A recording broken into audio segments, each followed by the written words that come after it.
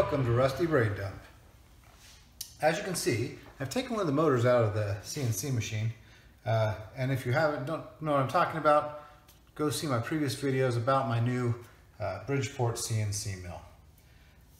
I've taken one of the motors out. This is the X-axis motor. And uh, I've been reading over the spec sheet. I, don't, I could not find a data sheet on this motor.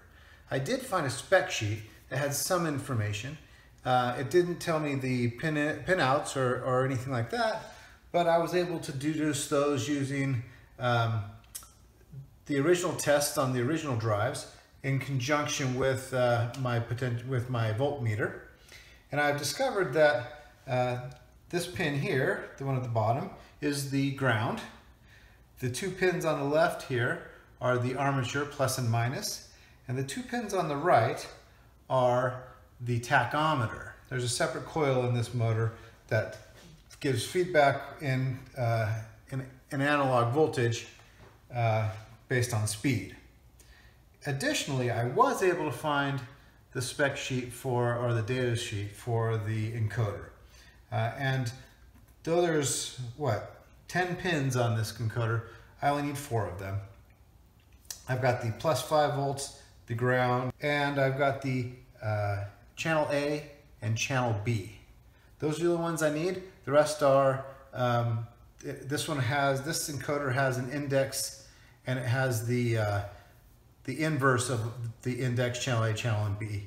But I don't need any of that for what I'm doing because as you may be able to see over here, I have decided that the way I'm going to drive these is with a drive called the Gecko drive. Now, when I was doing my research, I, uh, I, maybe I'll hook this up while I'm talking to, to, you about it and then tell you how I hooked it all up. Um, as I was doing my research, at first I was thinking, well, I can't figure out how to use the original drivers. So another obvious choice that's very common in the CNC world is to um, use stepper drivers, right? Stepper motors, I mean. And I very, was very close to going that route, but I, but and I almost bought a stepper motor and a stepper driver uh, to test and play with. But um, at the last second, I said, you know what? I would much rather use the original motors. Let's see what I can find as far as, see if I can get them to work first. Um, so I did a research on what motor drivers to use.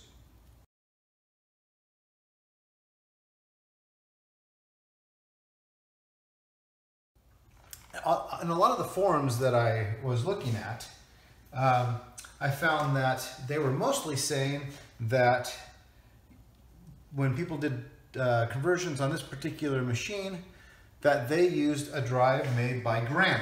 Uh, I don't remember the exact uh, type of drive it was, but it was made by Granite. And, um, and so I went to look for that drive, the driver, and um, it's out of, it's out of, uh, they don't make it anymore. Um, and so I looked for its replacement, and unfortunately the replacement called the Argon or something like that. I don't remember exactly what it's called. That may not be exactly right. But it's something, it's like $400 per drive. and so uh, there was, yeah, I just wasn't going to do that. that's just way out of my budget. Um, it would be a waste of, I should, I'll just sell, the machine if it's going to cost me that much for each, to run each motor. So, um, so then I, then I started looking at the Gecko drive. Now, the drawbacks of the Gecko drive is that the maximum voltage on it is 80 volts. But I got thinking about it, and even if eventually I have to find something more powerful than that, um, I am fairly certain that an 80 volt drive driver is going to be plenty powerful.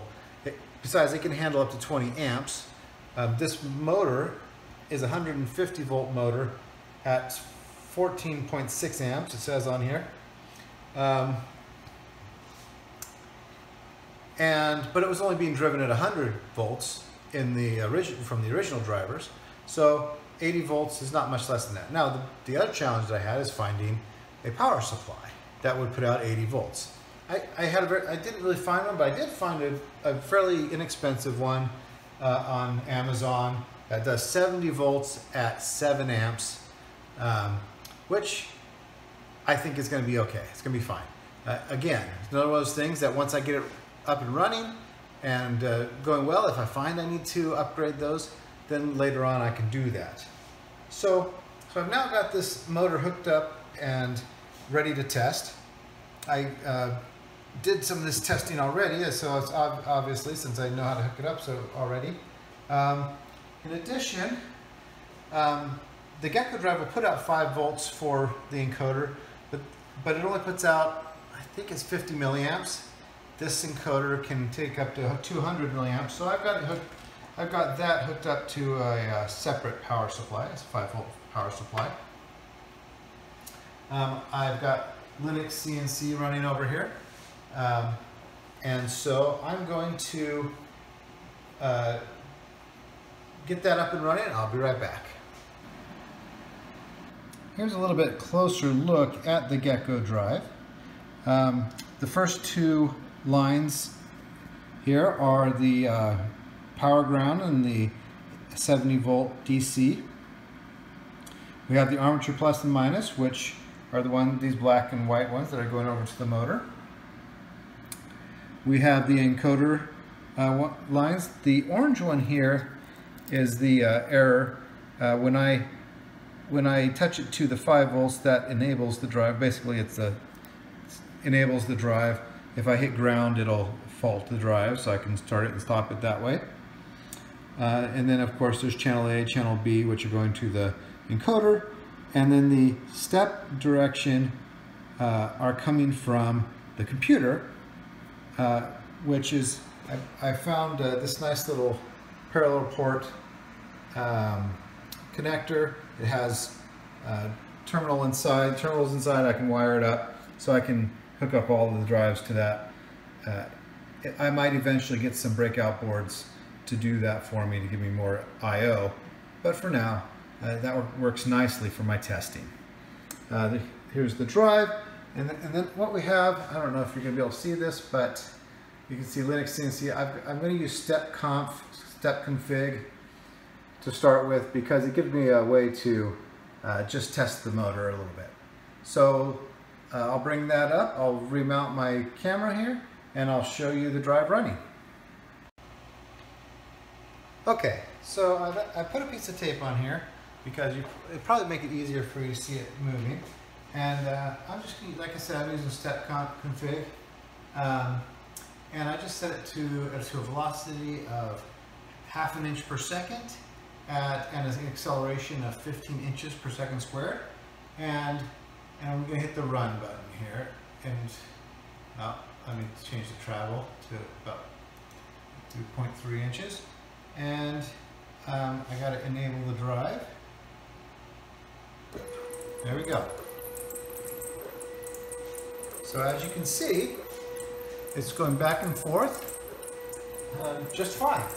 So that tells me I've got the armature correct, I've got the uh, encoder correct, because it, it would not uh, have control if the encoder wasn't being read.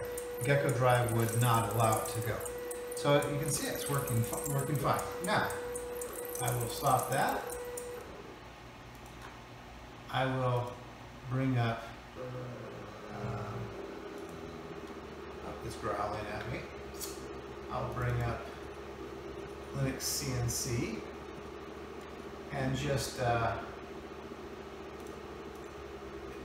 just to show you that I can also run it from within the software itself. So the jog speed is set to 5.8 inches per minute right now, so it's moving nice and slowly.